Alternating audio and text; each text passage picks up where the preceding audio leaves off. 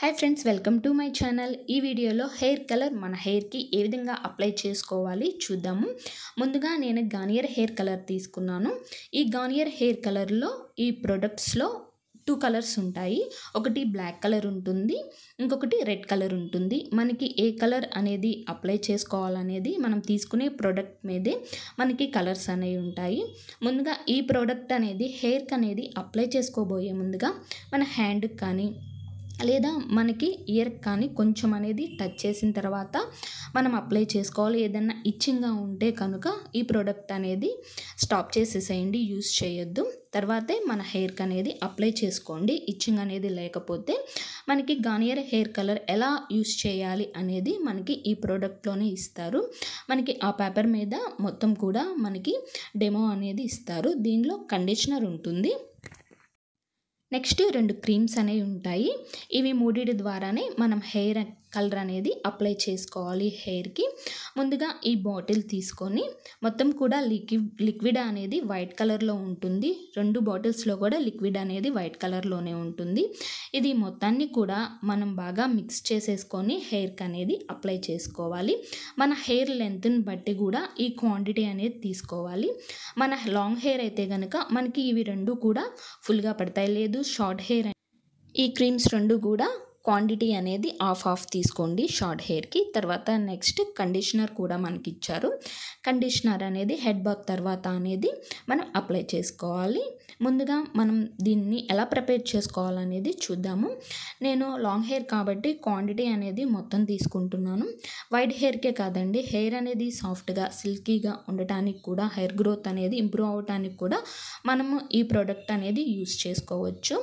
తర్వాత ఈ లిక్విడ్ మొత్తం కూడా తీసుకొని బాగా మిక్స్ చేసుకోవాలి. దీని ప్రైస్ కూడా ఎయిటీ నైన్ రూపీసేనండి. తక్కువ కాస్ట్లోనే ఉంది. ఇప్పుడు హెయిర్ కలర్ ఎలా అప్లై చేసుకోవాలో తెలుసుకుందాము. ముందుగా హెడ్ బాత్ చేసుకున్న హెయిర్కే మనం కలర్ అనేది అప్లై చేసుకోవాలి. కలర్ అప్లై చేసుకున్న తర్వాత షాంపూ అనేది మనం యూస్ చేయకూడదు. హెయిర్ కలర్ అనేది అప్లై చేసుకున్న తర్వాత త్రీ టూ వీక్స్కి మనం షాంపూ అనేది యూస్ చేసుకోవచ్చు. అలా వెంటనే షాంపూ అనేది యూస్ చేయటం వల్ల మనం వేసుకున్న కలర్ మొత్తం కూడా పోతుంది. కాబట్టి మనము షాంపూ అనేది యూస్ చేసుకోకూడదు. ఈ విధంగా బాగా మిక్స్ చేసుకున్న తర్వాత మనం హెయిర్కి అనేది అప్లై చేసుకుందాము. ఇలా నేను మొత్తం కూడా మిక్స్ చేసుకున్న తర్వాత మనకి గ్లౌజెస్ అనేది ఇచ్చారు కదా లేదా బ్రష్తోనైనా మన హెయిర్ మొత్తానికి కూడా అప్లై చేసుకోవచ్చు.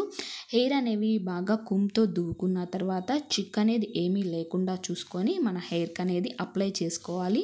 హెయిర్ మొత్తాన్ని కూడా లేయర్ లేయర్లుగా తీసుకొని మనం అప్లై చేసుకోవాలి. ఈ గ్లౌజెస్ ఈ విధంగా నేను హ్యాండ్స్ మొత్తానికి కూడా రెండింటికి కూడా వేసుకుంటున్నాను. వేసుకొని కుమ్తో హెయిర్ మొత్తం కూడా దూకున్న తర్వాత ఈ కలర్ అనేది అప్లై చేసుకోవాలి. ఈ విధంగా హెయిర్ తీసుకొని కొంచెం కొంచెంగా హెయిర్ మొత్తాన్ని కూడా లేయర్ లేయర్లుగా తీసుకొని ఈ కలర్ అనేది అప్లై చేసుకోవాలి.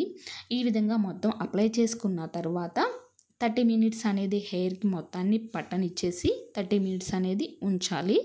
బాగా డ్రై అయిపోయిన తర్వాత హెయిర్ వాష్ అనేది చేసుకోవాలి. గోరువెచ్చని నీళ్ళతో మనం హెయిర్ వాష్ చేసేసుకున్న తర్వాత కండిషనర్ ఇస్తారు మనకి. ఆ కండిషనర్ అనేది హెయిర్కి అప్లై చేసుకోవాలి. ఈ కండిషనర్ అయినా హెయిర్కి అప్లై చేసుకోవచ్చు లేదా ఇంట్లో ఏదైనా కండిషనర్ ఉన్నా కానీ హెయిర్ కండిషనర్ అప్లై చేసుకోవాలి. హెడ్ బాత్ చేసిన తర్వాత టూ మినిట్స్ తర్వాత హెయిర్ కండిషనర్ అప్లై చేసుకొని మళ్ళీ వాటర్తో హెయిర్ అనేది వాష్ చేసుకోవాలి. ఇలా వాష్ చేసుకొని టవల్ తీసుకొని నీట్గా స్లోగా హెయిర్ మొత్తాన్ని కూడా తుడుచుకోవాలి. ఈ విధంగా చేయటం వల్ల మన హెయిర్ అనేది సాఫ్ట్గా సిల్కీగా ఉంటాయి. అంతేకాకుండా హెయిర్ కూడా హెల్తీగా ఉంటాయి. ఇలా పాయింట్స్ అనేది గుర్తుపెట్టుకొని మన హెయిర్కి అనేది హెయిర్ కలర్ అప్లై చేసుకుంటే హెయిర్ మొత్తాన్ని కూడా కలర్ అనేది కరెక్ట్గా ఉంటుంది. హెయిర్ కూడా హెల్తీగా ఉంటాయి. ఓకేనా ఫ్రెండ్స్? మీకు వీడియో నచ్చితే లైక్ చేయండి కామెంట్ చేయండి. నా ఛానల్ను సబ్స్క్రైబ్ చేసుకోండి. Take care. బాయ్.